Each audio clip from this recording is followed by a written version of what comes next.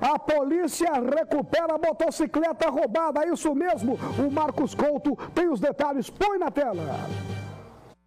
Recentemente, uma motocicleta foi tomada de assalto aqui na capital sergipana. Mas nesta quinta-feira, ela foi recuperada no bairro Coqueiral, zona norte de Aracaju. E graças aos policiais civis, Marcos Silva e Fernando Brito. Os dois são lotados na Superintendência da Polícia Civil e depois de receberem a informação que esta motocicleta estava escondida no bairro Coqueiral, eles foram até lá. E você acompanha agora as imagens e os relatos dos policiais. Na rua Frenoque, no bairro Coqueiral, foi localizada uma moto roubada que foi tomada de assalto.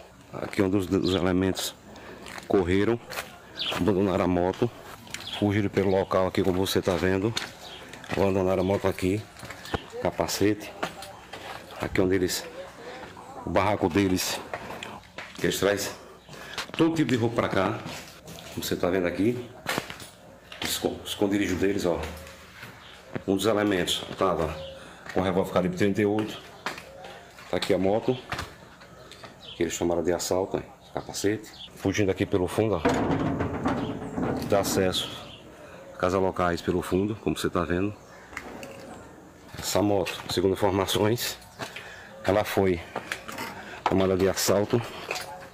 Estava fazendo vários assaltos com ela. A gente perseguindo eles. Chegaram até aqui e abandonaram ela. Mais um trabalho da Polícia Civil e graças aos policiais Marco Silva e Fernando Brito, que também dão suporte à Copical, que é a coordenadoria do policiamento da capital, que tem à frente a delegada Viviane Pessoa. Parabéns aí ao Marcos e o Fernando. E o cidadão ter a sua moto recuperada. E quando o fato acontece, a notícia aparece.